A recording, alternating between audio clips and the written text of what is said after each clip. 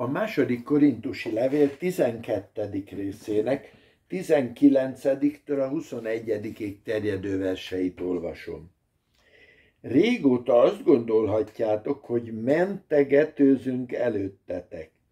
Mi azonban Isten színe előtt, a Krisztusban beszélünk.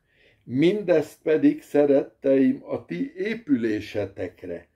Mert félek, hogy amikor megérkezem, nem olyanoknak talállak titeket, mint szeretnélek, és ti is olyannak találtok engem, amilyennek nem szeretnétek. Félek, hogy viszálykodás, irigység, harag, önzés, rágalmazás, vádaskodás, felfuvalkodás, pártoskodás lesz közöttetek. Úgyhogy amikor oda megyek, ismét megaláz engem az én Istenem nálatok, és megsíratok sokakat azok közül, akik korábban védkeztek, és nem tértek meg abból a tisztátalanságból, paráznaságból és kicsapongásból, amelyet elkövettek. Az apostol mondja, hogy ha megérkezem hozzátok, attól tartok, hogy nem olyannak találtok, mint amilyennek szeretnétek. De én se olyannak talállak titeket, amilyennek én szeretném hanem bemegyek a darás fészekbe, ahol ti még pártoskodtok, vitatkoztok, vádaskodtok. Olyan légkör lesz, ami nem Isten országa légköre. Szeretett testvéreim, különleges dolog az, hogy Isten országa, igazság, békesség, szentlélek által való öröm. Én ma este megyek, a Szödligeti gyülekezetbe a Biblia helyettesíteni.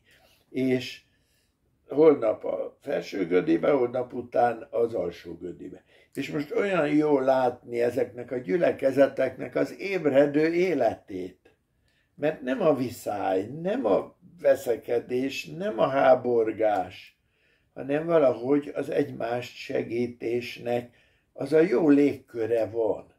Hát olyan nagy öröm volt bennem, mert vasárnap is ott hirdettem ezekben a gyülekezetekben az igét, és előtte szombat este volt ima közösségünk.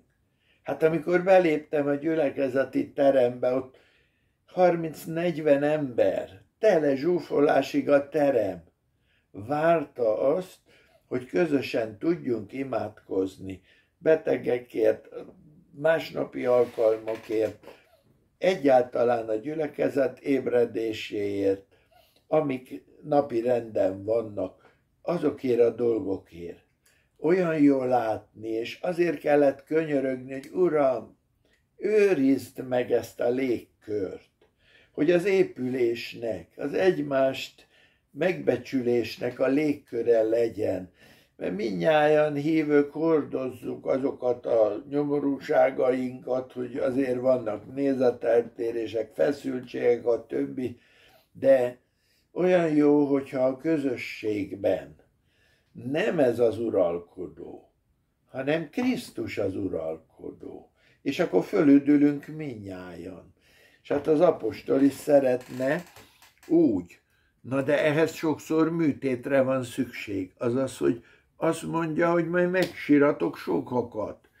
Majd azt kell kimondanom, hogy ezek, akik nem tértek meg a paráznaságukból, az engedetlenségükből, a rágalmazásukból, ezek, ezek nem építik a közösséget, és nem tudunk velük együtt haladni. Testvéreim, minnyájunknak nagy szükségünk van arra, hogy megtisztítson, lecsöndesítsen, alkalmassá tegyen az Úr, hogy a hívők közösségében otthon lehessünk.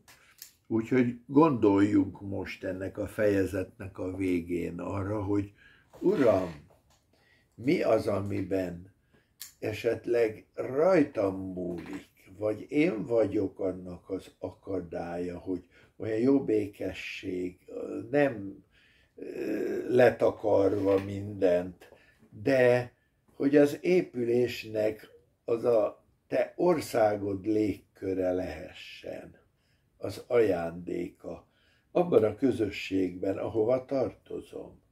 Hadd legyek én annak ilyen áldott, a te lelked által hordozott előmozdítója. Úgy legyen.